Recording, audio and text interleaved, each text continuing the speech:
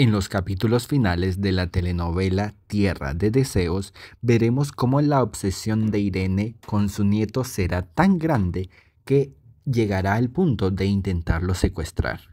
Y es que veremos en estos capítulos finales de esta telenovela cómo ella decide entrar a la casa de Gracia. Y hemos visto cómo Gracia siempre ha aparentado ser una mujer hasta cierto punto un poco ingenua o muy nerviosa.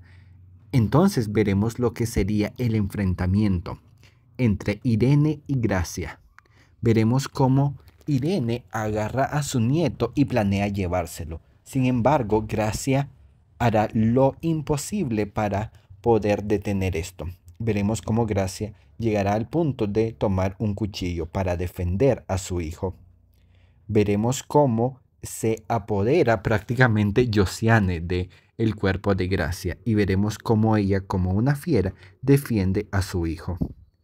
También lo que pasará es que Irene no tendrá otra alternativa, ya que al ver cómo Gracia se puede defender, ella devuelve al nieto y no se lo lleva. Sin embargo, veremos entonces cómo Irene huye y está prófuga de la justicia.